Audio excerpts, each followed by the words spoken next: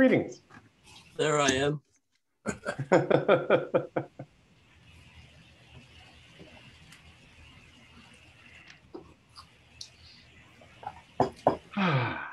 This takes me back to sort of like waking up on a camping trip, you know, where it's kind of like who's getting up, yeah, yeah. Who showered in the river? right? Man, that was cold. yeah, it was. You pick up some cowboy coffee. Actually, I'm trying something called uh, mud water. What's mud water? Mud water is a, a new coffee substitute. The base is chai tea, but then they add uh, three kinds of mushrooms and uh, more cinnamon and a bunch of things. So it tastes uh, heft, you know, it tastes more full bodied than than decaf. It has one seventh the caffeine of And the chai tea is with black tea, so it's decaffeinated black tea. No, it's it has some caffeine in it, but uh, they they calculate it's about one seventh of a, a cup of real coffee. So if you had if you had two cups of this, you'd still be in pretty good shape, you know. As far as sleeping, I I was doing you know regular. First, I stopped at three, and then I stopped at noon, and then I said, you know, I, I tried going cold turkey, and I said, wow, it really does make a big difference. Yeah. So now I'm on uh, mud water. Excellent. And I'm I'm opening up our Mattermost chat so I can chat in the place we're preserving it. Right. Yeah. I, I need to get that link. Get that And link. yeah, I was get I was gonna type in mud water, so and we can figure out the link. You uh, put the link for the Mattermost in chat again, please. Somebody. Uh, you bet. Thank you. Boop. Copy link back here. And oh, I was about to put the link to the Mattermost chat in the Mattermost chat, which would be absolutely not useful. Hi, Trey. But highly recursive. Uh, totally, way too recursive. Uh, there we go. And a couple of people had lots of trouble getting into the Mattermost chat, so don't worry about it. We will report back, but but we like to keep the chat going between calls, so that's why we're trying to use the the Mattermost. Uh, Mike, congratulations. Thank Mike you is, very Mike is much. now uh, Mike Mike is now he's made an honest woman out of his uh, lady friend. He is a married man. He had a beautiful virtual wedding, and went Beautiful on a, flowers Beautiful right back here. went on a micro moon. um, Jerry and April, I'm so glad you could join us. Thank was- you. Even at 8.30 in the morning or 8 o'clock Pacific time. And Michael's incredibly smart daughter Lizzie gave the most beautiful toast with like three bullet points. It was really good. Hmm. I was really pleased she didn't use PowerPoint, but um, but it was but it was beautiful. I will post that in the chat to share. I'm a very proud father, of course. Yay! Yeah. Um, the three of us had lunch here in Portland uh, two years ago. When was that? Um, it was, oh, well, let's see. Um, You guys swung by on your trip. we were, Lizzie and I were there for the eclipse. Yes, that's right. And we were all just back from the eclipse. That's right. And I, I had gone camping with Charles overnight to go see the eclipse on a farm down uh, near Bend or wherever wherever the good viewing was here. I have to say, I was impressed with the Zoom wedding. The company we used is called Wedfully, Hmm. uh, W E D F U L Y, and they just did an incredible job of choreographing the whole thing and managing our invitations. It was, it was, it was clearly something they've done a few times. About 500 weddings online, and I'm trying to figure out how to invest. And I think one I think one of your invited couples was one of their early weddings. Yes, Nuala O'Connor and Peter. Yeah, and they were like, things seem smoother now, which, which I thought was a really nice comment. I think they need to have a spin-off called Deadfully Yeah, for funerals uh, because there's that- even larger demand for that. it could be actually gratefully. Uh, have you suggested that to him? That would really Gratefully. work well with one L, right? They, the word's probably available. I bet. Yeah. Yeah. Okay. Um, that would totally work. I'd write them back. Write them back because really, um, I had I had a Zoom memorial for my mom who passed in December, and it was just Zoom. It was, you know, uh, it was lovely, but it was just Zoom. Uh, and so I think there's lots of space for for celebrating and doing things in different ways. Yeah, well, setting up several cameras and having the ability to move back and forth, and um, and then have music coming in and virtual participants. It was it everything just worked so well. And also chore- choreographing people into tables to talk during reception uh, later and so forth, and and then having the the wedding the bridal couple move from table to table during the reception period. Yeah, all works. And, and dancing. With dancing, with socially distanced dancing, socially extremely distanced dancing. yeah, um, yeah. So so thank you and congratulations. That was lovely. Thank you. Um, these are OGME times. I don't know about you all, but I'm seeing just like, and I'm having conversations with people who are building stuff like what we're looking at and who are great, who are groups we should sort of make contact with and, and uh, cooperate with, et cetera. Um, so I'm excited kind of to, to see where we are and what's up. Um, so why don't we, um, and there's not too many of us on this call yet so far, so I think we'll make it through everybody. I was otherwise going to give a, a little bit of a warning that we may not make it through and, and so forth because we're, we're contemplating our protocols and all of that. Um, so why don't we go uh, Ken, Julian, well, Julian's uh, muted and uh, no video, so I'm gonna wait a little bit before going to you. Oh, he's there. Okay, so let's go uh, Ken, Julian, Judy. Hello, everybody. Good morning, afternoon, evening, uh, night, whatever, wherever you may be.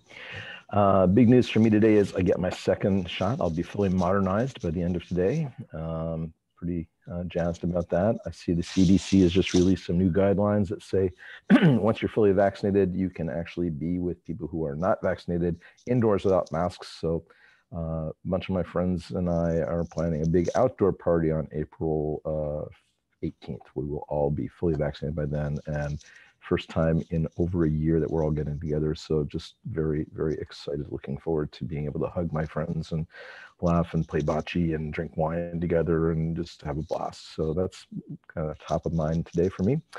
Um, let's see. Um, last week I wasn't here because I had a paid gig. Yay! Made a Yay! Very nice. Um, we'll see if that turns into more. It was a subcontracted uh, thing, so uh, but I, I think the folks who hired me were pleased with what I did.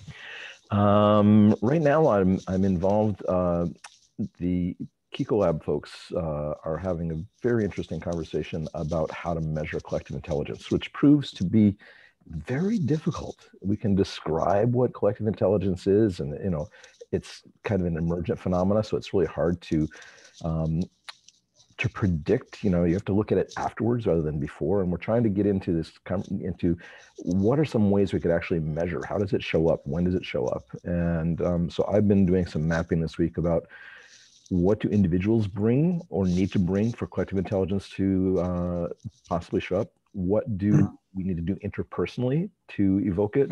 And then what's the context in which that can also be supported? Get it from three different perspectives and i'll be happy to share that map. Once it's a little more complete it's still pretty much uh, in, in its raw state right now. So that's my ogme check-in. Um, thanks ken. That's um, super interesting. And and I think the piece of that that I'm most interested in is establishing the initial conditions for collective intelligence, meaning I think, and I think there's much more we can do about that. And then I'm afraid, I'm actually afraid that measuring collective intelligence is actually correlates negatively or is a negative feedback loop with continuing collective intelligence.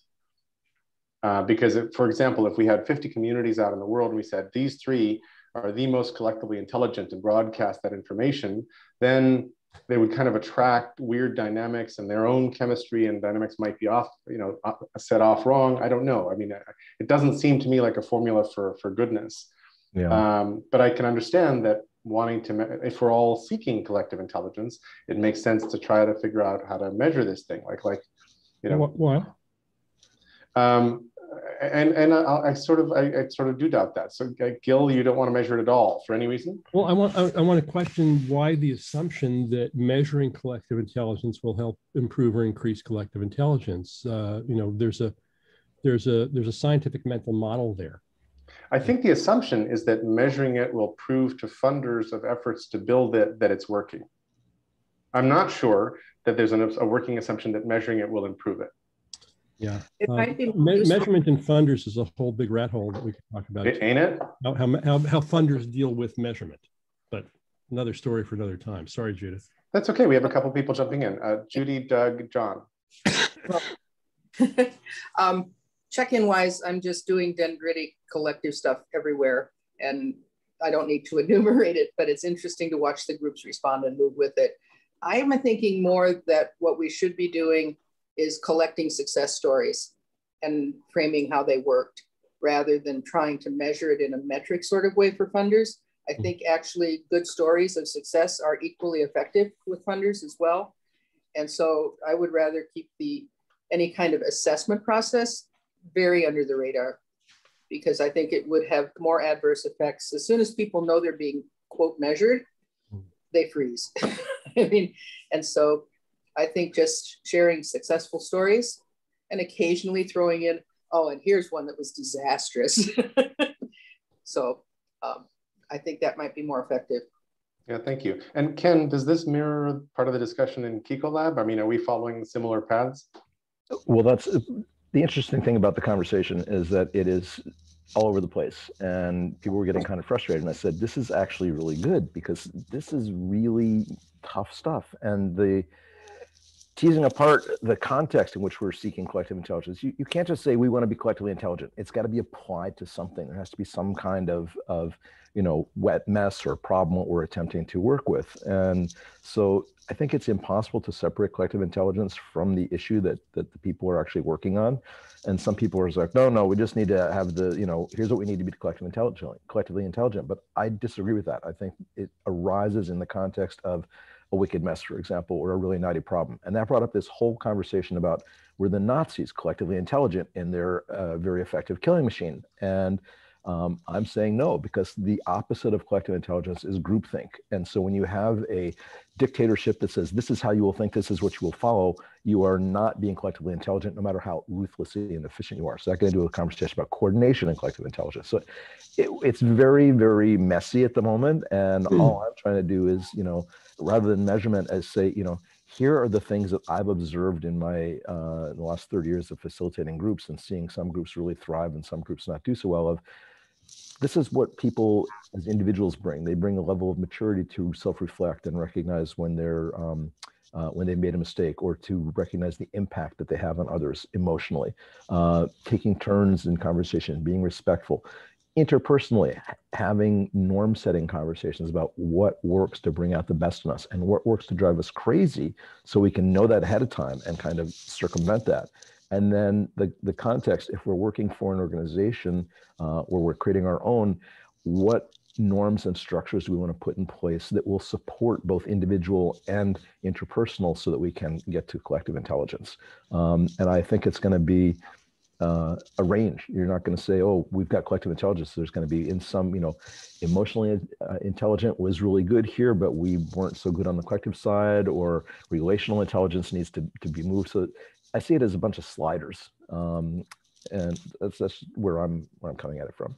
Um, thank you. So we have uh, a little detour, Doug, John, Julian, about collective intelligence, sort of feedback on the topic that Ken started, and then we'll go back to our queue. But I want to, before I pass to, to Doug, I just want to say that um, Pete is uh, is doing presently what uh, we recommended last last week, which was he has turned his background using mm-hmm, one of the virtual cams. He is showing us his note taking during the call. So if you feel like watching what he's doing, pin him, and then he will take over your screen. You can see big the notes that he's taking, but he's busy writing uh, what he hears that we're talking about. And then Pete is a uh, Pete is the most maven maven in the world for me. Uh, and so he will likely be researching some of the things we talk about and dropping those in the notes. And if it, he's also like one of the most brilliant multitaskers, so he may in fact be able to still feed uh, our, our Mattermost chat, and he was just on it. So, uh, so if you want to watch the art, uh, you know, in progress, please pin pin Pete. Doug, the floor is yours. Well, probably a little redundant, but just to reinforce the limitations of measurement in comparison to good narratives and stories. Uh, the reduction of any field metric uh, always avoids so much reality. And also, a metric is very hard to change if you have some new phenomena enter into the field of consideration. So I'll just stop there. Thanks, Doug. Uh, John, Julian, and then George, and then we'll go back to the queue. Uh, thank you. And this can be my uh, intro, I mean, my check-in Okay. also, so we'll save time. Cool. Um, so obviously there's a continuum. there's several continua here that we're talking about. There's the formative summative evaluation continuum, or, or that pe- a lot of people are familiar with. And um, the, the kind of thing uh, that Ken was talking about reminded me a lot of sort of going upstream. You know, if you think of the summative, that's the last thing you want to do. And you do, I think you do want to confine that carefully to things like we've noticed some things have settled down and maybe we have to go for funding. So that's when you try to crank up the summative part. But before that, you stay very formative, which is in the nature of, and it isn't, it, it, we, this word best practices gets really abused.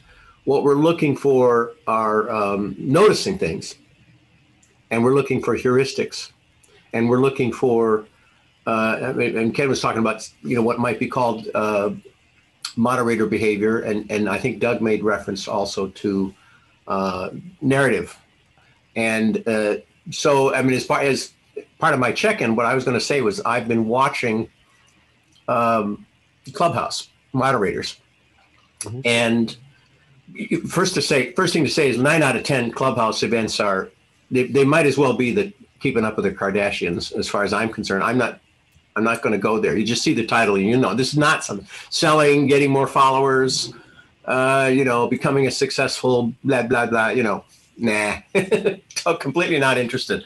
But about one in ten conversations are quite substantive, and they're tackling some difficult material, including um, what is wokeness, and how does wokeness conflict with free speech. And that's a that's a meaty one. That's a tough one. And so it's interesting to watch them struggle with that and to watch the better and the not so good moderators. Uh, I don't have any any magic insights so far from from watching them, except that the best ones do seem to be faster on the intervention, but you know they don't let things they don't let things drag on. But the kind of intervention they do is very um, gentle is the wrong word. It's the the, the, the, the intervention they do is fast but it, but inclusive. It's like saying we're appreciating we're appreciating that and we're putting in the context of this larger picture. You know, and they, and they keep and that keeps preventing it from going down the, the rabbit hole. It doesn't always work, but Mhm. It's it's a very uh, it's a behavior I I would like to have. I would like to do it better myself. So I'm I'm watching it very carefully, and that's that's kind of like what I've been doing uh, as as far as a check in. You know, I'm also writing and trying to come up with the theory of macro entanglement uh, for, for leadership. How leadership is macro entanglement, but that's a that's a whole other story. And uh, I have spoken.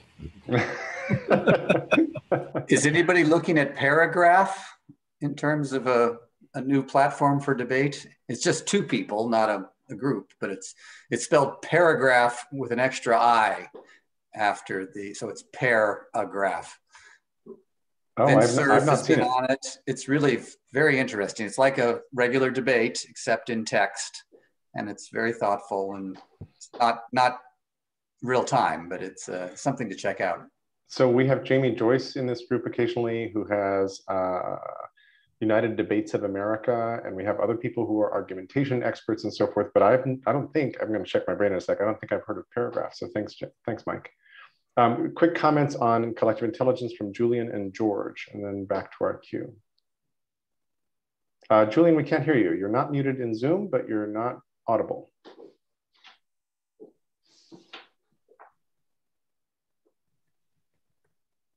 Wonder if this microphone has finally died. It's working. It's working now. All right, so that microphone is dead. Uh oh. Uh, I think it's um, dead, Jim. Let's see. that, that- Oh, but now your voice is all chopped up, so we actually can't hear what you're saying. out. uh, testing this. Can you Is this coming through okay? It's totally digitally artifacted to the point where you're hard to hear. Do you want to find another pair of earbuds or something and plug them in? Okay, why don't, why don't we go to George and then come back to you in a sec. Go ahead, George. I have I have what might be a provocative and controversial thought we here don't we don't like that kind of thing in here. about collective intelligence. I don't think you're going to measure collective intelligence because I think it's a myth. I think the whole idea of intelligence, perhaps, is a myth. Uh, I've studied intelligence as an educational psychologist for many years. I've given hundreds, maybe thousands of intelligence tests. And I'm coming around to the idea that I think the whole thing is a myth. Um, the we're no doubt observing certain things. We're observing varying degrees of mental efficacy, mental effectiveness. But the fact that we have to invent all these things, emotional intelligence and social intelligence, and Wechsler himself, the, the granddaddy of all intelligence tests, the Wechsler, is divided into two parts, verbal and performance. The fact that we had to invent all these intelligences tells me that perhaps I'm on the right track with mind skills, that I'm no smarter than other people. People have been telling me since I was a kid how smart I am. I don't think I'm smart or intelligent. I think I've mastered a cluster of mental skills that I've practiced more than other people. I spent a year learning creative problem solving. Spent a year learning high risk decision making. I spent a year on various other kinds of things. I've just done more practice than other people. So I really question, and you can hear some of the hesitancy. I, I but I would I would give it 95% that the whole thing is a made up, it's like a, a, a mythical Greek god. They put a name on it with a capital I and a capital Q. They call it IQ, like it's a thing. It's not a thing. Um, and it, it's a it's a test score, and it does predict success in school. Binet's original test was brilliant, the best psychology test ever for predicting success in school, but not success in life. So that could be my check-in also. That um, the, also, by the way, I, I, wanted to mention the other thing. The the my prediction here heard here first, perhaps. The next big thing is going to be Spaces by Twitter. Hmm. I, I've been on a few. I was invited to be a speaker on one. I spoke for 10 minutes on one. I got close to 100 new followers on Twitter, hmm. like within 10 minutes. Hmm. It's crazy. And I got all kinds of um, all kinds of things happening as a result of it. But it is a very interesting platform.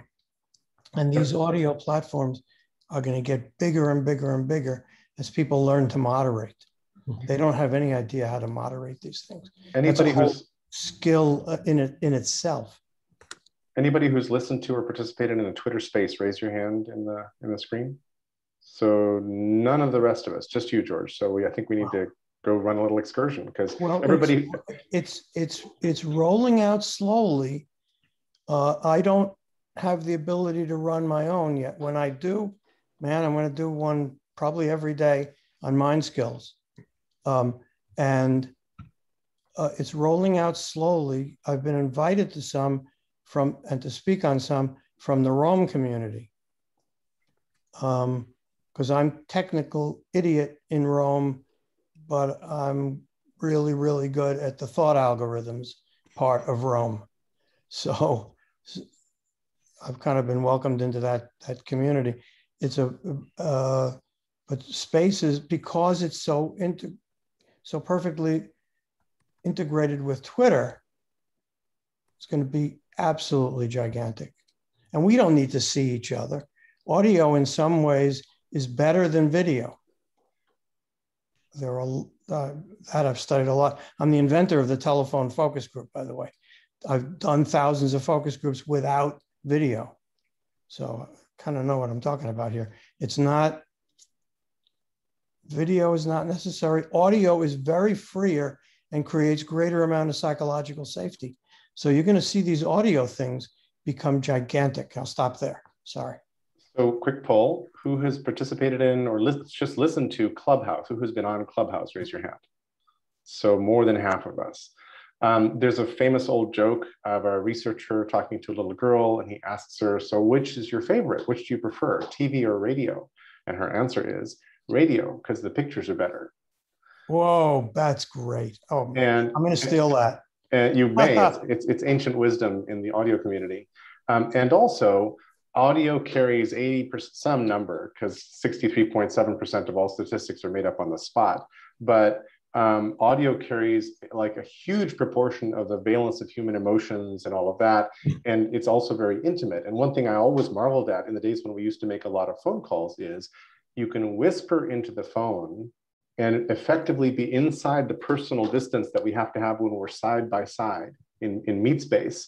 And so you can, you, it can actually be more intimate than talking to a stranger or, or something else. It's really like audio is incredibly powerful.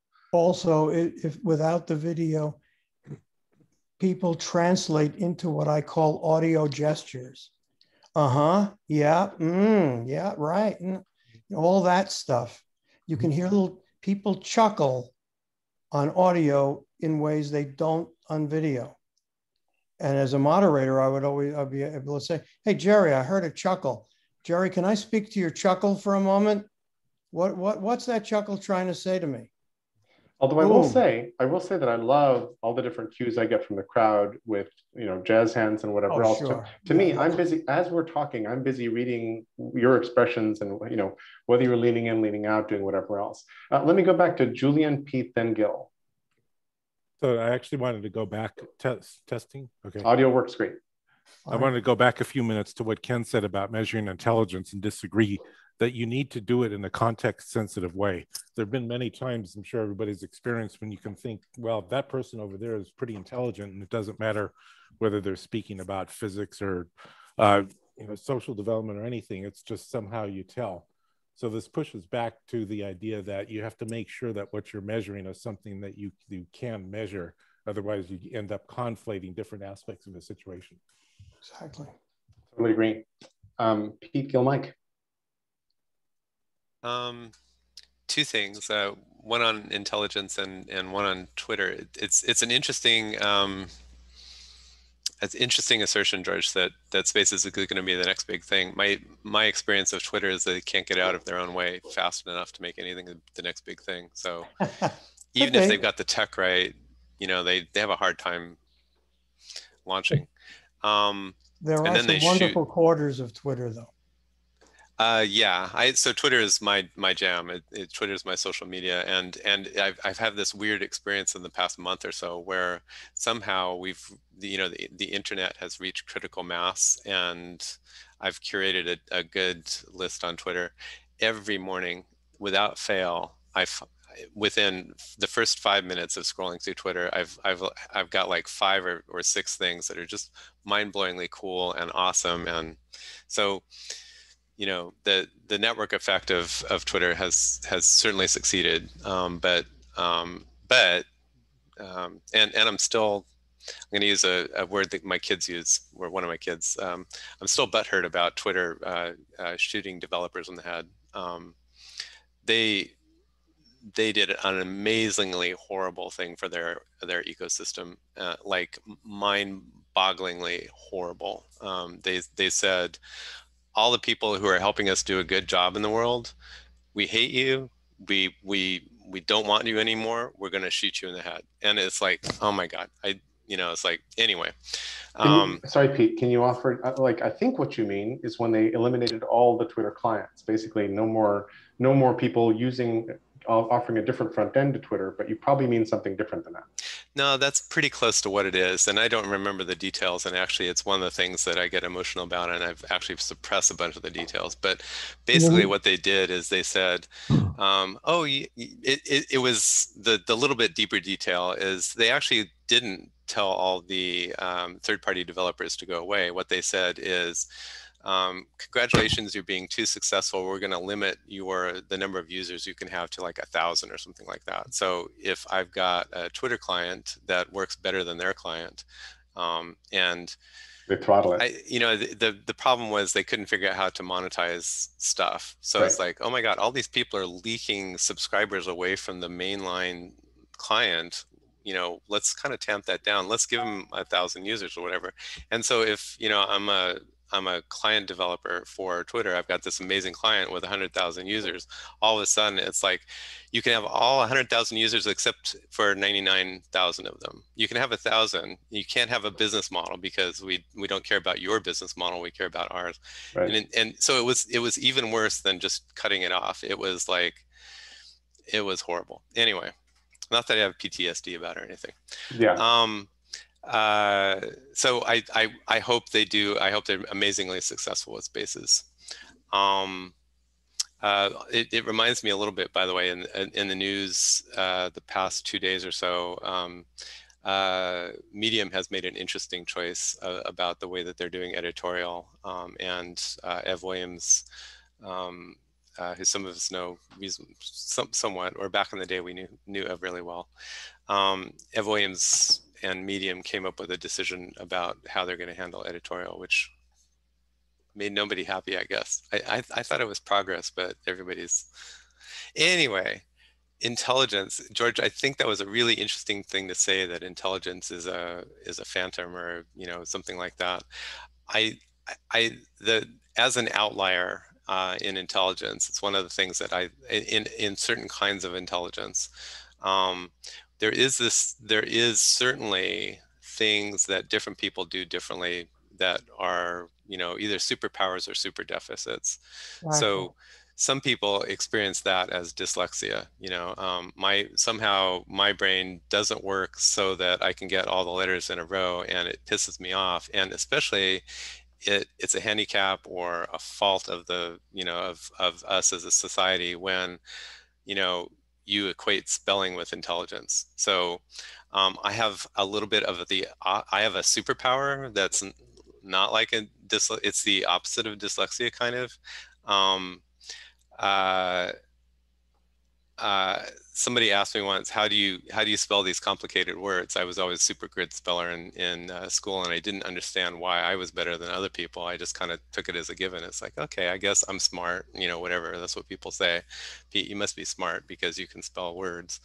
Um, that's not the only thing I can do, but um, but anyway, the way I spell words, and I was totally shocked when somebody said, no, that's not a thing. Is I I close my eyes, or now it's I mentally close my eyes, and I just read it off like it's on a blackboard. And you know that's that's a kind of intelligence, or it's I, I don't know. You know, it's not really intelligence. It's it's kind of a superpower. Visual um, memory. I have and I have visual memory for things like words. You know, um, uh, and you know and so my friend said that's not a thing pete. I close my eyes. I don't see any words you know. I have to like kind of stumble along and kind of sound it out in my head and kind of try to figure out what you know the stupid way english spells a word. So kind of the same thing. There are things that i can do that are good and bad. I i can multitask really well. I can do a bunch of things at once. Um, the the uh, another thing that I do that makes me look smart or intelligent is that um, I can make connections quickly and um, I, I, notice things very quickly. I can observe things that happen faster than it seems like a lot of people do. Um, so the the deficit for that of me is that I, I've kind of got some kind of ADHD, right? Where if um, it, it it can be that I'm making connections fast enough that I get distracted from what people are talking about or what what's going on in the in the world. Another really hard part of that, uh, kind of an ADHD kind of thing, is if I don't have enough intellectual stimulation going on, um, I get it, it's hard for me to pay attention. So it, it wasn't until just recently that I realized the way that I, I did super well in school, um, partly because I have other kinds of intelligence as well, but the ADHD kind of intelligence meant that I, I literally sat right in front of, at the front of the class, next to the teacher's desk. So he or she could be looking down and seeing what I'm doing. As I'm getting A's, I am doodling or, you know, drawing things upside down and backwards, or I'm doing weird stuff on the, the notes just to, so that I can keep paying attention to what's going on with the teacher, right?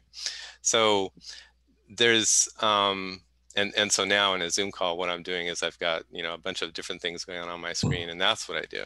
Um, uh, so there's certainly and then you know other people um, i watched somebody blow me away once by um, chit chatting with it, it, was kind of in a VC ish setting, but it was somebody who has a high, what you would call what the, the best name that we have for it right now is emotional intelligence, EQ, or something like that.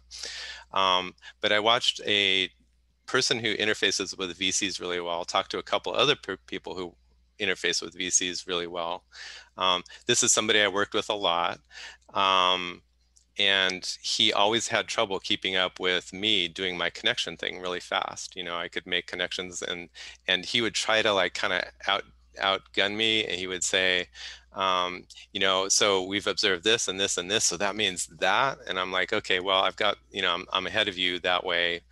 It actually means these couple other different things that you haven't even thought about that you're going to realize that you're not thinking about you know in 10 or 15 minutes. I can do that super fast I watched him sitting around a cafe table talking with a couple other people, and they were talking about um, VCs and other founders and things like that, and what was going on socially. You know, oh, you should talk to this person, and it, it turns out that that person would be really interested in these the the way that these folks that you know are working together, and they were constructing this mental model of of like social network um, you know like plus plus plus kind of that i could keep up with what they were trying to do but i realized that i felt stupid the way that my friend felt stupid when i outgunned him hmm. in some some kind of like architectural discussion he completely outgunned me in this eq thing where they were like yes. figuring out yes. how to approach other people in a way that would you know get them funding or uh, help another founder or whatever right so there's this we we all have different intelligences and an, intelligence is maybe the wrong word for those but we have these different I, i've come to think of it as neurology another really interesting neurology is is the way that we interface with some people have a no problem with a screen and um, a face um, I am like that. There are other people who a screen and a face is like, I don't know what I'm doing here. I can't see them. They're not, you know, they're not with me. I can't, you know, for whatever reason, the the interaction doesn't work. We used to, in one of my companies, we had a, a person who who literally could barely be on the phone and and certainly could not screen share. Um, but if you talk to them quietly in in a room together with them, they were like the smartest person around right mm-hmm. as soon as you dragged them out of that that ability to interface with people face to face in a room. Their their intelligence went to like 80 you know it was mm-hmm. like they couldn't operate and they mm-hmm. they look stupid so mm. there's something interesting there george i, I appreciate mm. the i appreciate the opening and there's some really interesting neurology. We're all different, and that neurology kind of gets squashed into a measurement of intelligence, or now a measure, measurement of, you know, book intelligence and EQ. There's a lot more than that. So still on our on our tangent about uh, collective intelligence, let's go to Gil, Mike, me, and then back to the queue. And we have a couple people who have to leave at the top of the hour, so I want to make sure to catch them. So I'll reorganize the queue. But go ahead, Gil. Um, yeah, thank you. This is fascinating. I, I, I noticed that Pete's multitasking uh, brilliance doesn't extend to scribing his own speaking. Ah, crazy. have to work on that, Pete. Um, um, uh, Twitter clearly is not demonstrating collective intelligence. to Pete's point. Uh, this I, am I'm, I'm struck that it seems to that we that we fetishize learning and adaptation as intelligence. We sort of call everything intelligence. I hear people lately talking about intelligent molecules or intelligent, you know, intelligent immune systems when it's the adaptive behavior of the system that we call intelligence as a cognate for whatever it is that we're thinking of is going on in our heads. Uh, maybe it's more something like the capacity to move and adapt in the world and I like what George was saying about skills. I would think about it as capacities. I don't look at Michael Phelps and think I'm not as smart as him. You know, he has spent, you know, like 20 hours a day in the pool for his entire life. He's developed capability in his body to do things that are, you know, cultivated and learned over time. Um, to the neurology thing, Pete, um, it's not the exciting thing here is that that's not fixed, it's plastic neurology changes and adapts. And we're actually in real time now modifying each other's neurobiology, neurochemistry right now. And if you wanted to measure it, you could measure it. Um, uh, and I wonder if measurement is, is uh, an artifact of industrial society. And the hunger, the hunger to be able to predict and control human behavior, which mm -hmm. shows up in the school testing and in how we manage workplaces and the, you know, the move of saying, Pete, to your guy who said, I'm going to adapt my management to your cognitive style, as opposed to try to test you, regiment you, evaluate you, fit you into an official cognitive style is, you know, is, is, a, is a big move and very rare. Michael Phelps is a is a really interesting example. He's one of what my wife and I call freaks of nature. We don't mean that in a in a negative way. I'm a freak of nature with the way that I can spell words. Um, no matter how much I try, how, how much I do exercises, just like Michael Phelps, I'm never going to have the wingspan that he does to pull water. So, and, and so Stephen Curry's maybe a better example. So he, you know, he, he shoots 300 free throws before every game, just as part of his practice. And so, oh my God, what a thing he's able to shoot three pointers, you know, at whatever percentage he hits them. Mm-hmm. That's because he's developed in his body the ability to do that. Um, let's go to Mike. Mike, then uh, Kevin, hang on. I'm gonna got you in the queue pretty soon, unless you want to. I just have something on this topic that would be useful. Uh, so let's go to Mike, then you, then me, uh, and, yeah. then, and then back to the queue.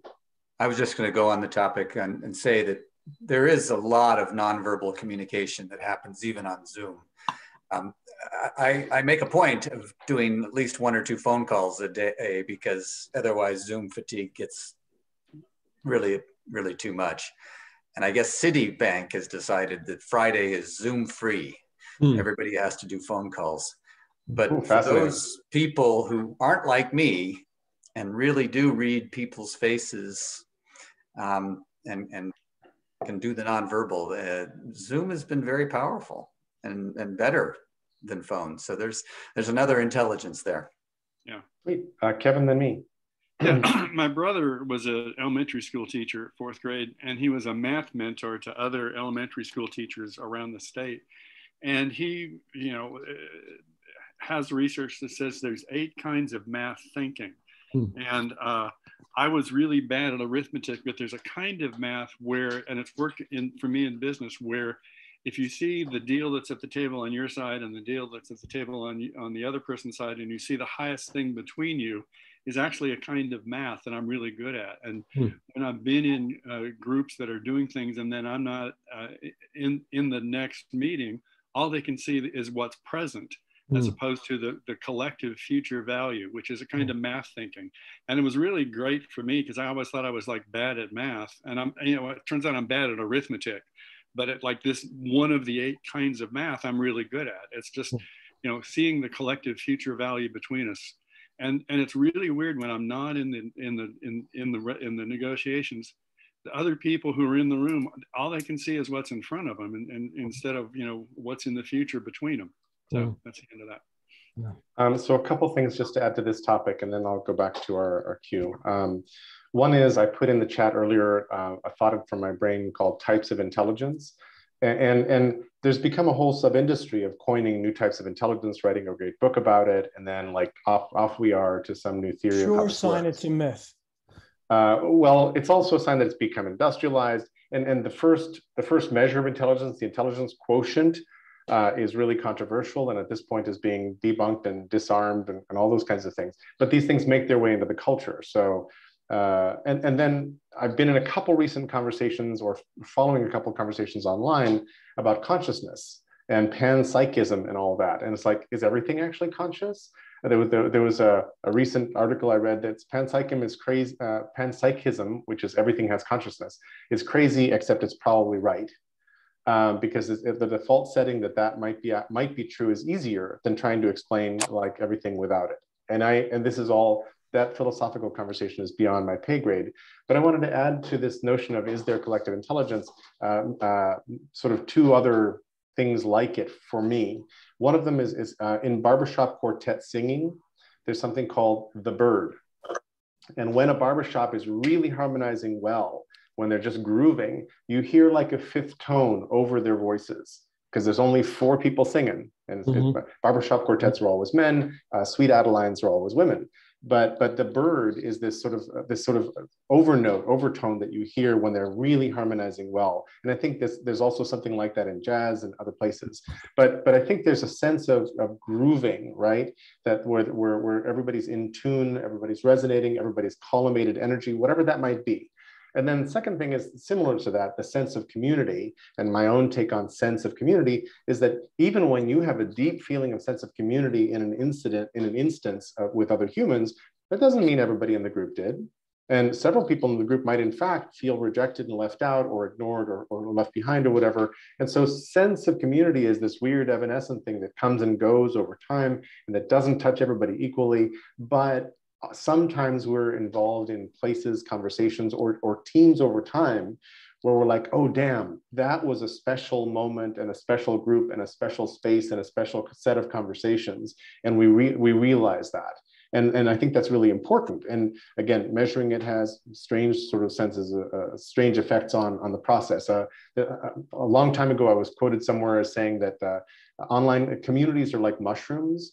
They thrive in dark spaces and the moment like when when when community got big back in the you know early 90s sort of online community got big uh, everybody pointed to the well as the paradigmatic online community and the best days of the well were well behind it and then lots of people rushed to the well and basically ruined it um, and so, so th- these things don't port very easily. Uh, so measurement is kind of controversial that way. And then uh, the last thing I want to add to this notion of intelligence is I've had several interesting discussions, in particular an ongoing one about is Trump intelligent? Mm. And I did a video saying Trump is sort of smarter than we think he is. And using any of those words, smart, intelligent, whatever, just like opens up a can of worms. It's really fun to try to put back together. You can't.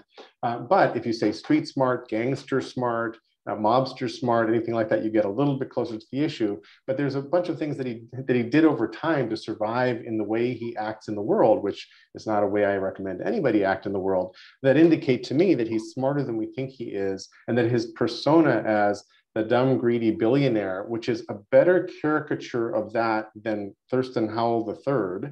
I will point out he does a better job of, of greedy, wealthy dude than Gilligan's Island's caricature of that person um, is intentional. It's, it's, it's like a crafted persona that he then sort of climbed into and, and that ate his brain somehow. I don't know. Uh, so anyway, those are, uh, those are my thoughts on the topic and I've reorganized the queue a little bit to adapt for people who need to leave. So Mike, back to you, then Trey, Kevin, and Matt. Just a couple things. Um, I think most people know there's going to be some interesting fireworks starting in about five minutes on Capitol Hill. Uh, the big tech CEOs are all testifying about disinformation, hate speech, censorship, da da da. Um, it'll probably be even more uninformed than usual.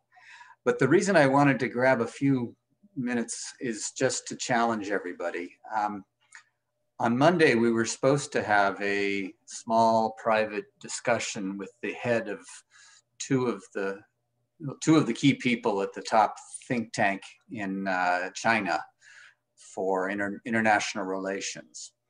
And there were three of us presenting, one on trade, one on military conflict and how to avoid it, and then I was going to talk on technology. And, and, and this could be even more raucous than the recent meeting in Anchorage. Um, but I'm trying to find a way to kind of say, hey, let's recharacterize these debates over technology. Um, a lot of my focus will be on the metaphors and the mindsets that we use and how we can find some better ones. Uh, tech Cold War, AI arms race. Um, Chinese are always using war metaphors when they talk about technology, the technology front and the shock troops. And we're not any better. Uh, we've done a lot of this as well, but we're, uh, my, my, my plea is that we start talking about sports and and not thinking of this as a boxing match where our, our goal is to knock them out or to set them back. Our goal is to have a running race where we can both set records.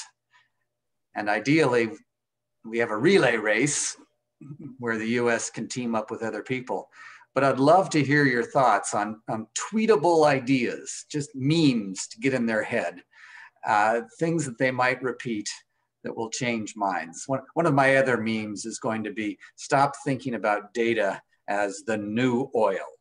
I mean, just I've I've talked about this before, but this is this is driving a lot of the Chinese uh, policymakers. Uh, this this is they have adopted this from the economists. This is one of the memes that's in their head. You know, they need data dominance, and hoarding data is where the power is.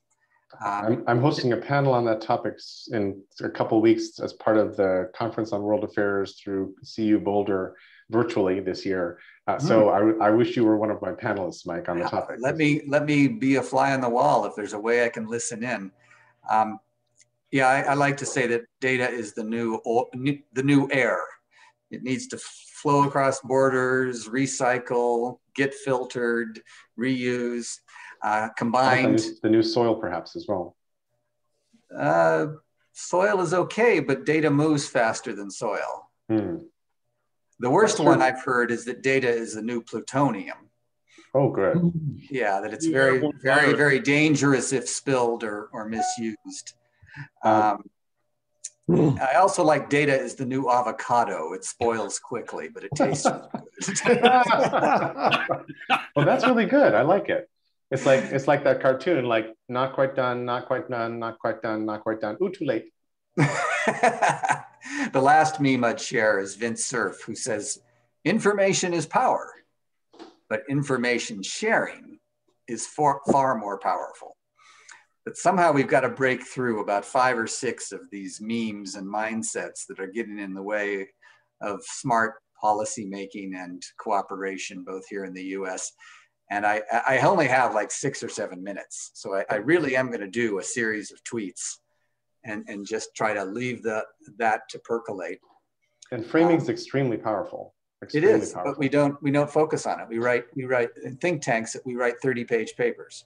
Yeah.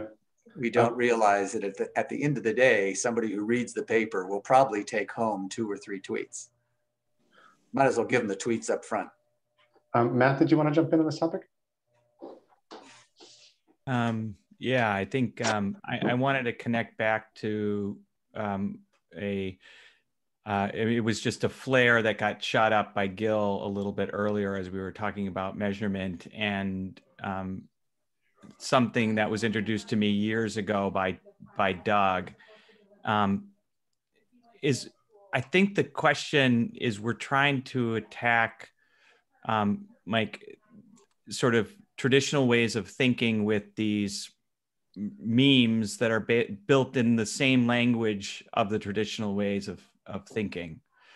Um, and I, we might be so far down the path of building mental models based on the Industrial Revolution and um, the Enlightenment that we we might need to step way back in this in this process and kind of recognize that that sort of this tweaking around the edges um, is not is is not the way is not the way forward. Um, I was recently in Florida. We were out in the intercoastal, and the interesting thing about the intercoastal is that the sands under the water shift very frequently, and if you go too fast in a direction, the water gets a lot shallower and you see a lot of people who just want to just kind of hope and move forward and that you know progress is this notion of moving forward and you know what doug introduced um, earlier on is that I think our notions of forward and backwards might be completely um, mis, you know, misguided. And so, as you're looking for memes, um, maybe the meme is something that is um, out of context, not an extension of or a reframing of our existing context. And I don't know, you know, how that plays. Um, the last thing I'll just say about collective intelligence, and we can debate about the word intelligence, and you know, we use language for a lot of different things, and we, you know, create these fat words to mean things, right? We talk about emotional ten- intelligence, which just means that we're sensitive, right? Um, exactly. But uh, I, I think that there is something that happens when groups of people come, you know, come together in a collaborative form, where things emerge out of it, whether it's the bird or whether it's something else that can't be described and shouldn't be described, shouldn't be measured. Um, and you know, you want to walk out of a collaboration and go, I know I was a part of it, an important part of it, but I can't name the thing that it is that I contributed versus what other people contributed. That the end product is something that is unique to the group, but it is not um, discernible to and dividable and distinguishable to each of the members of the group. Because if you try to do that, then you force yourself into cooperation models where everyone is a role, everyone is a machine, you can pull people in and out, versus when you get into that place of group genius, the birds show up and we should just recognize it for the beauty that it is. So um, that's where I'm at to, with, uh, with this conversation. Thank you. Yeah, well, I think in, in the case of US China, the word that always comes out front is competition. Yeah. Economic competition, military competition, ideological competition. The, the, the interesting comment going into Anchorage was from our Secretary of State saying, we are going to compete, we have to find places to cooperate, and we have to be ready to confront. Mm. Um, but no one's talking about the collective. Mm. No one's actually talking about going beyond cooperation and coordination to or, something much or, deeper. You know, how do we collaborate to create the birds that we need in this world that's going to save us from our own destruction? I mean, that's you know that's where we're at and i think that's why i'm in ogm is my hope is that we we start to ha- figure out those sorts of things you know like our language is um is so damaging and it's based on these models that we take for granted because we've been living them for so long. Um, and that's my that's my awakening um, from this group and i really oh. appreciate that. Um, ken hold on one second. Kevin do we lose you at the top of the hour? No not today okay excellent because i was going to try to grab you before you had to bolt. Other uh, then let's go to ken and then we'll go back to the queue. really quick um, as i'm listening to mike and and you know the the china us thing and the competition and, and confrontation and all this um, it occurs to me this is really male based amygdala bullshit you know um, and what we need here uh, you know one of the things that that uh, thomas malone and the center for collective intelligence mit came up with is you add women to the team you get more collective intelligence. Um, and women have developed an evolutionary uh, approach called tend and befriend which is okay there's not an immediate threat here but there's a threat so let's take care of the people who feel threatened. Let's give them blankets and food and hugs so they feel comforting. And let's go over there to that threat and say, what do you want? We see you as a threat. Let's talk this out. So I think we need a way more feminine approach. This, we've brought ourselves to the brink of fucking ecological and every other kind of disaster you can think of with males running things we just need to start to, to be way softer and way more receptive much to put it in chinese terms a lot more yin. We're way over yang. Um, that's awesome. Uh, ken that's really important and thank you for sort of reloading that in my head.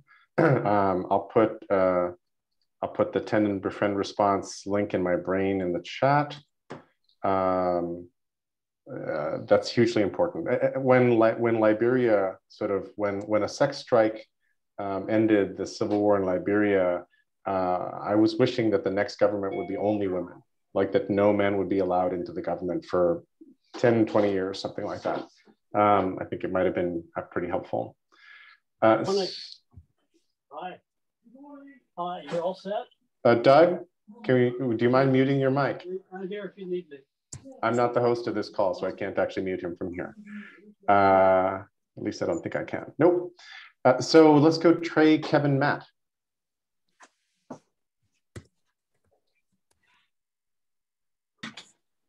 Now I know why I like reconnecting on these calls.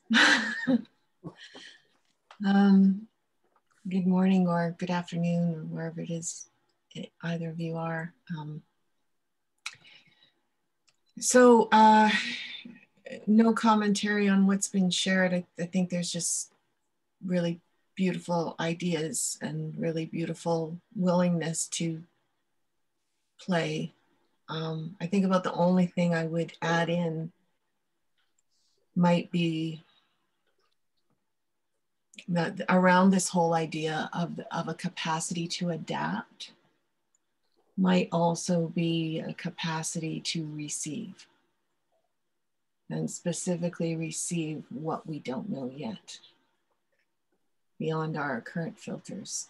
And so just a just kind of a nugget to throw in there for to chew on. Um, for for me, from a check-in place, I have been um, cocooning, and I have been really, really blessed in the midst of that cocooning, and part of it has been because of connection to this to this group. Um, Parmjit, who, um, in her own intuitive wisdom, which she will deny, um, set up a call on the very first day of January, which for me was 9 a.m. And so you can kind of imagine 9 a.m. on January 1st, me going, Do I really want to do this call?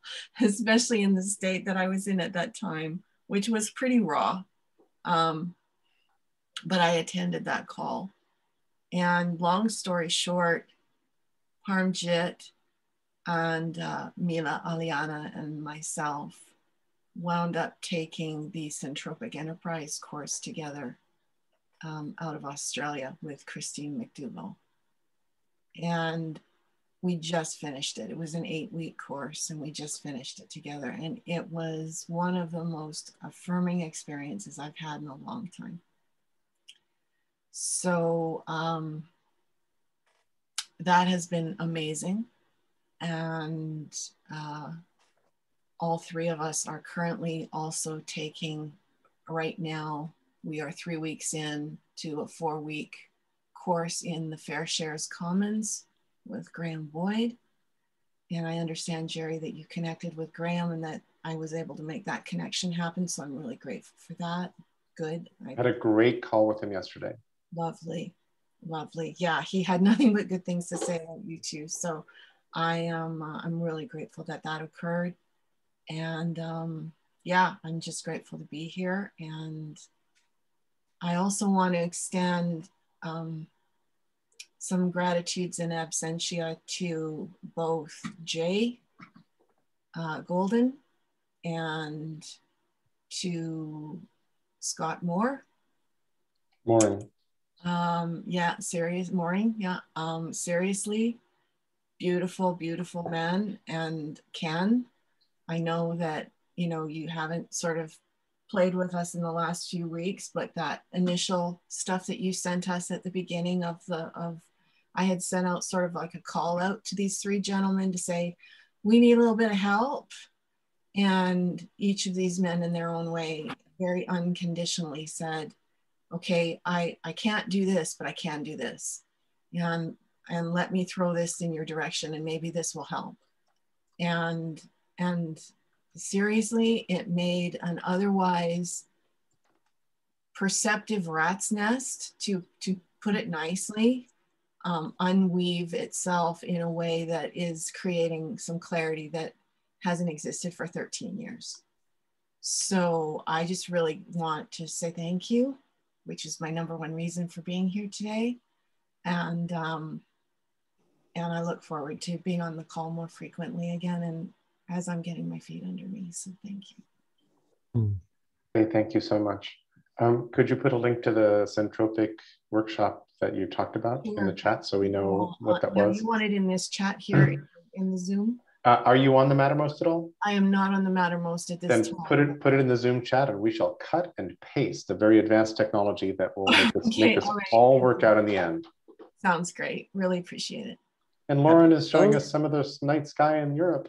I mean, evening sky. Yes. Uh, Judy, oh, good, thank you. Perfect timing. Um, so let's go back to our queue. Uh, Trey, thank you so much. That was, um, I, I love having you back in the room. Um, so I've, I've got, and I've probably missed a couple because our, our check-in has been kind of uh, popcorn kind of all over the place, but I've got Kevin, Matt, Mark, Michael, and Klaus, who we have not gotten yet to, and I'm pretty sure I'm missing a couple people. Uh, and Kevin is putting a GoFundMe uh, thing for his uh, project in there if anybody wants to go do that. So let's go to um, uh, Kevin. We can't hear you. Okay. Uh, yes, you- now you're good. Okay. Yeah. Good. Hi.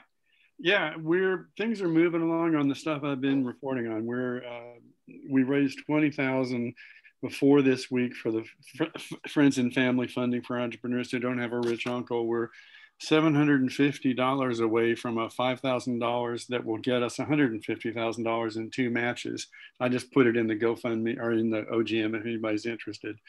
And uh, we're in pilots in three cities to uh, to do this through three churches that gets uh, black kids and white kids uh, designing the future together with a annuity revenue stream around it. It's kind of a sweet little thing, and uh, I'm pretty jazzed about it. We're, we're getting $150,000 from uh, Trinity Wall Street, which is this church that owns, you know, uh, they used to be the largest landowner in Manhattan. Now I think they're number two, and because they've converted to liquid assets. But anyway, we had a staff meeting this morning, and one of our person people was saying, you know, like this one and this one. I said, wait, what can you do? He says, oh, remember, we're getting some money. It's like, oh, like we're actually planning this this bootstrap startup with some money coming in, you know. And so it's like, oh, that was, I was like, I had to rethink everything. Uh, you know, it's like, okay, well, that's pretty cool. But uh, the uh, so you know, uh, things are good. Uh, you know, it, it, one of the things I looked at when I was investing, uh, impact investing, was looking at the additional social capital that showed up at the right time around the startups. And so we are, are at the place of needing um, somebody who just showed up. He's a, a, credit analyst in a bank who's been reading my blog and wants to be engaged because he grew up uh, with his father in Madagascar doing microfinance. And so we need somebody who is a technical process plumbing builder as we hook up these things of a donation from a church to a donor advised fund out to a community development corporation into a CDFI. It's like I could be really good at the first one and be bored and not do the others. And so, you know, when the social capital, uh, you know, is attracted to the right smart people who are going to give their time, uh, that's a really good marker for me. Uh, and and you know, money's coming as well, but you know, when the right smart volunteer with you know a real passion to he wants to do a lot more than be a credit analyst at a bank. he wants to be doing what his father's doing. So anyway, it's really great that that's happening. And uh, so I'm just I'm in I'm in a good place with this stuff. And uh, I'm also having a big conversation back and forth with my daughter, who's a West Asheville anti-vaxxer and who doesn't realize this is not like not taking a mump shot. And I, I it's it's it's difficult to be close to somebody who's you know their their school got profiled as a Waldorf school in the New York Times last year for its regular anti-vaccine or the year before last I guess you know for the measles mumps thing. And they helped the measles outbreak grow but they did have essential oils. And wow. this is more serious than that. I, I, I just don't know how to deal with that across you know she, she's suggesting we get a therapist in and she wants to present me phony anti-vax facts. And I'll say well I'll try to be respectful to your fringe hippie DIY craziness uh, without acting like it's fringe hippie craziness when I talk to my daughter. So anyway, uh, if anybody has dealt with that, it's, I'd, I'd love to, I'm not sure what to do. She's really smart, but they just think this thing that fringe hippie folks think. So Linda, in our last call, presented some correspondence that she'd been in recently about the vaccine and, and you know vax doubters anti-vaxxers whatever i think this is a super interesting and very ogme kind of question Uh, so I don't know how to answer it right this second, but I, think I have a feeling we should focus on it some to see if we can create either spaces or resources or inquiry process or something like that. Not, not to get the best medical facts on why the vaccine works and all that, but to crack the code a little bit or to attempt to crack the code on why people are so resistant to, to, to shifting their, their minds on this. Yeah, I mean, when they when they gave uh, us as a housewarming present uh, a rose quartz because it would be an embodier of love, you know, I did an afternoon of work, and that actually is is not uh, out of the question. Uh, rose quartz can be sensitive to pressure, it can be sensitive to chemicals, it can be sensitive to electricity, it can be sensitive to waves of di- different kinds, and there are brain waves. So I said, okay, I can accept it. You know, like it's it's actually possible that that you know that you can change the vibration of rose quartz lots of different ways. Um, but this other stuff, I don't know what to do. You know, like, I mean, she's going to have a lot of these conspiracy anti-vaxxer facts she wants me to look at. And I just, you know, I don't know. And the, the act of looking at them may and, and talking, go, going depth first into the research may actually be part of, of getting to a different conversation um, there, I'm forgetting what the article was, uh, complexifying the issue. Is that Adam Grant? Um, I've got the article somewhere, but but um, there was a very very nice article about complexifying as a way of getting to these conversations, as opposed to the usual binary "you must," "we can't" uh, kind of setup. Yeah, um, yeah. Yeah, it, it, it, my, my opening thing is like, well, you realize you'll be killing people, which didn't work well as an opening uh, part. I can't see. I can't see why that wouldn't have just gone over right away. Like like a winning. That sounds like a kill shot to me, right? I said you'll you'll be causing people to die. Uh, anyway, so I backed off of that. That was anyway. That that was that was bad, and I, am sure BJ didn't like that. Yeah, I know. I know. It, it's it's just anyway. Okay. Um, so the cue I have is this, and I may have missed people, I'm not sure, and we may not be able to get through it because several of us have to bounce off the call at the half hour. Um, so let's let's uh, let's give that a try. Uh, Kevin, thank you for putting the link, and Gil, thank you for donating. That's wonderful. Really appreciate it. Uh, Matt, Mark, Michael.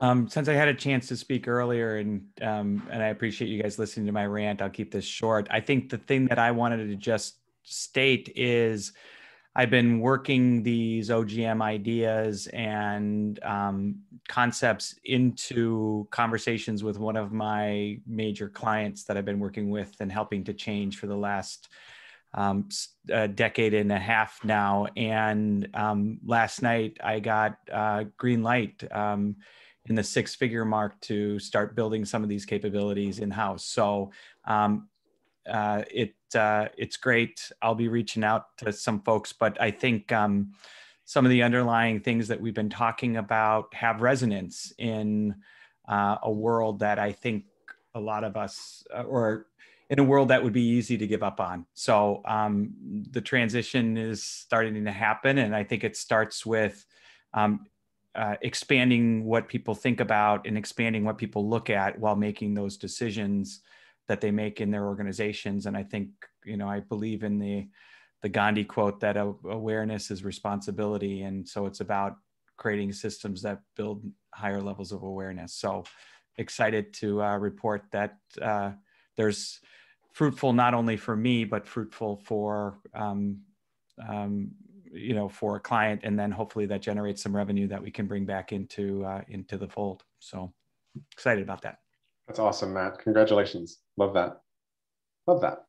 Um, Mark Michael Klaus.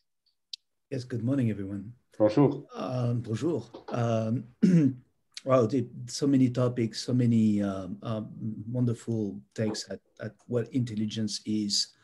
Um, it, and it, it, rings a bell, I'm sure, to, for everyone.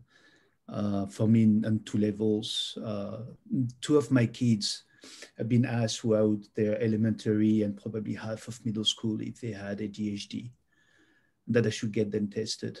Until the day I said to one of the teachers, uh, yeah, he got tested. Of course, he did not.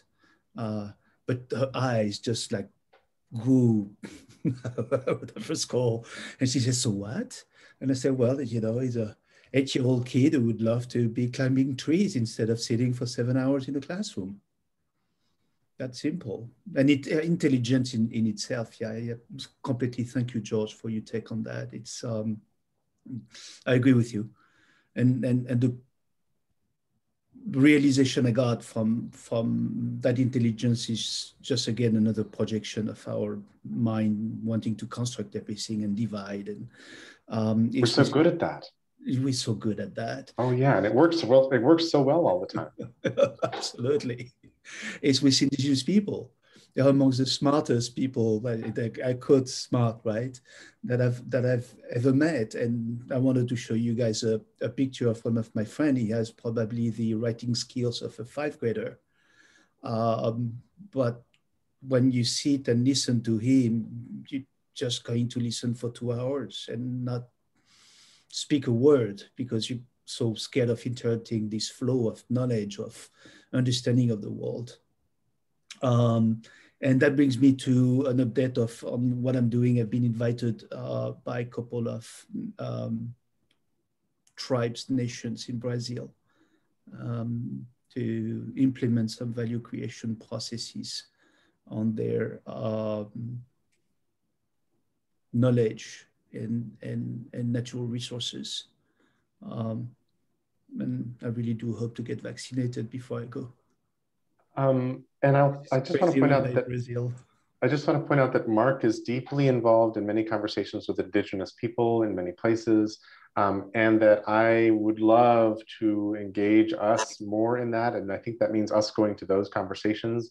And so, Mark, if you can suggest to us places to meet you, uh, in you know calls that we might join that would be useful in this, I would appreciate that and that one of the lessons I learned from one of the calls we were both on was that a indigenous wisdom is often not to be taken; it's often guarded ca- carefully lest it be misused. But b uh, and not different from, but uh, it's often intertwined with language and culture in ways that are very hard to extricate. So when a language expires, with it sometimes goes a worldview and a bunch of a bunch of knowledge that was hard won over over you know uh, millennia, um, and so and and which also implies that understanding the wisdom, the knowledge is, in, in, involves mastering the language, et cetera, et cetera. Which you're like, oh crap, okay.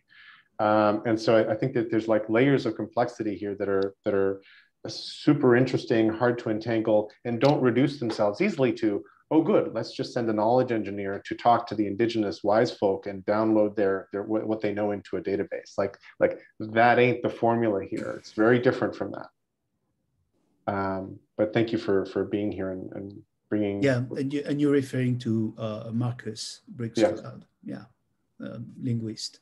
Exactly. yes, we said we said if if if the number of words that is used in the language goes below 3000 then you start losing the meaning of the language itself. Mm. and there were only a couple native speakers of the language left alive. Uh, actually there were more but they lost a lot due to covid. Right. That's what what's, what's happening up there. Um, so thank you mark.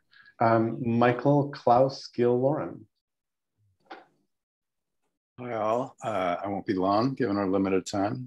Um, I uh, I did want to say one thing on on um, what came up earlier about uh, audio versus video, and say that one thing I've found really interesting of late. I've been involved in a lot of um, conversations in digital digital space that involved audio and visuals that were not visuals of people's faces, whether it was a Miro board or or a screen share that that happened to be going on that just allowed people to really collaborate and and be well just to get visual information across um, ideally with everybody having a hand on the on the stylus or the mouse or the you know contributing to the visual product. Um, I, I don't think that that uh, interaction has been has been well implemented. Um, I mean, Miro boards particularly are like can be great and can be extremely maddening. Um, uh, so I'm, I'm very curious about you know what other what other tools people have found there, but also just pushing the idea that there are ways to um, to uh, be present with voice um, and not completely non-visual. Um, and then I just, you know, wanted to share what's going on with me. I, I um, wanted to just appreciate a lot of one-on-one conversations and one-on-two conversations I've been having lately with people, um, a couple of them here, um, and and just getting so much out of it. I am someone who has has a fair amount of stage fright and discomfort, and uh, you know, with with talking. Um, and uh, it's it's harder the larger the group gets and at the same time you know i've i've really enjoyed listening uh, in this larger group space and um, and wanted to just wanted to say that i mean if anybody's interested in in uh, in one-on-one talks i'm i'm up for that um, i uh, i also wanted to um, talk about some related um, group conversations I've, I've been having. Um, there's a group that I'm sure somehow must overlap this one um, called the, uh, hold on, it's this. Sounds like. Collaborative, Collaborative Technologists Alliance. Um, and um, there, there are some people who are um, doing some stuff that, um, I mean, I, I, talked to Pete a little bit about um, Jim Fournier, who, um, who I think others of you know, uh, who's doing um, True.net and and JLink is is something that he's been involved in, um, and he actually hooked me up to this group. There are other people in that group who represent other platforms, collaborative intelligence, um, devotees. I just you know feel like we should know about their existence, and if if if I'm if I only end up being some linkage there, um, I'll try and bring back what ideas I can share and links I can put in Mattermost. Um, yeah, so I guess that's all from me right now. Thanks, Michael. Is I, I, put a link in the in the Mattermost chat. I don't know if that's the right right group you're talking about. But it is. Cool. Thank you uh, Klaus Gil Lauren. Yeah, coming coming back to this uh, uh, intelligence um, discussion. Um, I was in a conversation yesterday with the Holos group. It's a mostly Europeans um, discussion group centered around Jan Smuts. Uh, Jan Smuts was the advisor to Mahatma Gandhi. Um, and the discussion was focused focused on consciousness. Uh, how do you how do you define what is it, and is consciousness present in nature itself? Um, you know where where and coming to the awareness you know that all of life has connections and is there an intelligence that is driving uh, this this this life?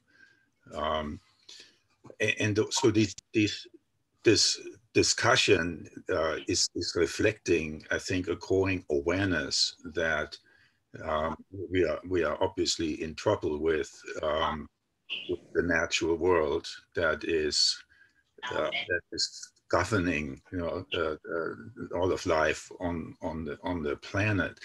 Um, and we see that also reflected in a lot of conversations uh, now focused on the amazing damage that, that we have caused already and how these linkages uh, uh, need to be better understood. I'm, I'm working with uh, the the Ground organization right now on another uh, uh, webinar to to help um, other sectors in the economy uh, understand uh, how uh, you're in the transportation sector or in the financial sector or in, in the energy sector, how um, you need to understand what is happening in land use and agriculture um, that that you are impacting and that you need to to to to understand in order to modify you know uh, your your approach. Right now we are, work we, are thinking and working in sectors and we are highly specialized in sectors. We we don't have this intuitive understanding of this is a system so this discussion around what is collective intelligence what is consciousness is really I, think the beginning of a conversation that that allows us to step back and see um, and, and, and see a, a, a, um, a, a, living a living impact. I mean, a, a living connection that that we that we need to be aware of. I mean, it's hard to put into words, but um, I, I think the the just to understand what what is consciousness and i have like a very simplified practical way to think about it but obviously it it, it goes into into a whole different dimension when you when you start to think about is uh, are animals conscious or are plants conscious or is is there a connecting consciousness that pulls it all together so hmm. Hmm. Oh, thank you for that um, yeah, it's funny. Like, okay, we're right we're right close to the end of this call. I'm going to have to get off in a minute or two, and I just want to talk for another hour about what you just put on the table. So, so there we are. That's what OGM calls are supposed to be like. Um, uh, Gil and Lauren, and we're not going to be able to cover all of you, but uh, let's give it a swing. And this is tough. Uh, so I've been spending an hour every week in a reading group uh, loosely called a philosophy reading group that's talking about Klaus, the questions that you're asking. So I'm deep into that. I would love to talk with you and Jerry, whoever more about that. Uh, maybe the whole thing is conscious, and maybe what we call consciousness is some way of participating in that business. Um, anyhow, long, many rabbit holes. Um, uh, first of all, just huge gratitude. I'm loving OGM. Where you guys been all my life? I'm so happy to be here. I look forward to this call every week. Um, so there's that. Um, news of me, um, um, paying a, a, lot of my professional attention is around climate finance and how do we pay for the world that we want. Uh, and um, in, in that area, as well as everything else about climate, uh, everything that's going on is woefully inadequate. The scales are completely mismatched. Uh, just figured out yesterday that we spend, the, the planet spends about 2% of global GDP on military. Uh, most of that, like two thirds of that from six countries. Um, we spent last year 10% of global GDP on COVID. We spent about a half percent on climate. That will change big time. Um, in that realm, personally, um, uh, I've uh, some of you know I've been building uh, an investment fund or starting to build an investment fund around sustainability turnarounds. I'm this week making an offer to my chief investment officer, so that's going to move from theoretical to starting to go into action uh, excited about that. Congratulations. Um, thank you. Well, premature, but thank you. premature congratulations. Uh, the, thank you. The the the other the other piece in that uh, in in my entrepreneurship zone is um, I've been cooking for a while and building an academy around around cultivating leaders and enterprises that can address this world that we're moving into. Uh, and I'm very challenged right now with the emergence of Clubhouse and the many many other platforms where people are in dialogue and exploration and learning together. Um, and wondering so sort of where to fit in that universe or how to leverage those universes um, to the previous conversation about clubhouse what i'm missing there is what we do here which is side chats I, I love the audio, but I can't, you know, be sitting there in a. Remember when we would sit in theaters and watch things? You could poke the person next to you and say, "Hey, what about that?" I'm I'm, I'm missing the multi-layered texture. So you may not be using the chat very effectively then, because uh, there's, a, there's there's a, a, a, no oh in Clubhouse totally yes. Uh, there's Clubhouse is really, really limited yeah, in the UI. And, yeah, and it's interesting in certain ways. And yeah. so, I, so I'm feeling sorely the missing of that. And I'm wondering if anyone's done Clubhouse and Zoom rooms together. And um, shortly, um, John, yes, and then we have to close the call because we're right at one minute before the half. So go ahead, uh, John. Uh, not Clubhouse and Zoom. I mean, people are possibly doing that, but what I know about is that certain strong groups, strong Clubhouse groups, have a web page, which they specifically open up mm-hmm. and run in parallel to just like we do with Mattermost. So there's a Mattermost equivalent uh, on Clubhouse. It would be but, really easy to run Clubhouse with Mattermost. That'd be yeah, totally exactly. trivial to do. That'd, that'd be, one, that'd be one way to do it. But then yeah. Zoom, Zoom gets you the visual.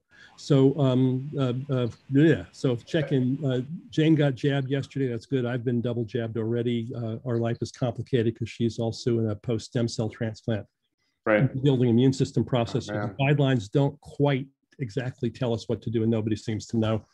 Um, um, but it's good. It's progress uh, in that direction. Uh, I'm I'm I'm back into the brain again, Jerry. Uh, this is my periodic attempts to make this part of my life. So thank you. I'm having a great time. Good. I may want to bother you with some questions. Uh, I've got a whole bunch of things I wanted to share about fertile explorations in my life and fertile discomforts, and I guess it'll have to wait till next time. Why don't we start with you next next week? There'll be more of them, no doubt. Sounds great. Um, Lauren, my apologies. Let, let me just say one, because that may resonate with a bunch of people here. I am working to drop the word nature from my vocabulary. Interesting. Because we, we moderns tend to speak of nature as, as this thing outside of us. More and more people are saying, no, no, we're, we're nature too. So I'm practicing dropping the word nature and therefore also the word natural resources and therefore maybe the word natural capital. Uh, and it goes to the dance that I'm in that maybe many of us are in of, of straddling worlds and bringing different faces and different languages to the different worlds that we're in. In would love to debate you on that, Gil. What about natural logic? We have to close this call. yeah. And this is a juicy, juicy topic. Uh, way too rich. This is like eating like a, a mouthful of baklava, baklava at the end of a meal. Like, oh man, that's way too rich. Um, thank you all. Uh, this has been phenomenal. See you uh, on the intertubes and uh, more more soon. Thank you. Bye, everybody. Take care. Be well. Who said what about natural logic? Me. Which me? Which me? That, Ken. I can't see. Brilliant. Thank you. well, I know that would be close to your heart, Gil. I'm, I'm, I'm going to work on it, Ken. Considering it's the name of your company, I think you might want to be thinking about that. Yeah, well, the the origin of the name, which came from Jane, was out of the spirit of these questions, but it's a it's a great flag. And you and I, my brother, are long overdue. We're overdue for a walk. Hey, you've been double jabbed. I'll have my immunity inside of two weeks here. So let's um now we know where to meet at uh at at the uh, dog park instead of uh, opposite ends. and it might be separate conversations. I'd love to have conversations with each of you individually, but I've also been double jabbed, and I'd love to join you on that walk. All right, if that makes sense. That makes sense. Different different topics to take up with both of you. Michael, good to hear from you today. Thanks. I'm going to jump, guys. Thank you. All right. Take care. Bye bye. Take care.